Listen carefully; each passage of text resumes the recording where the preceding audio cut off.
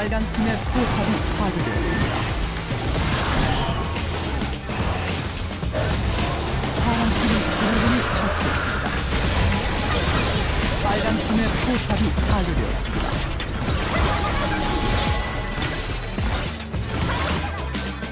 빨간 팀의 억제기가 파괴되었습니다.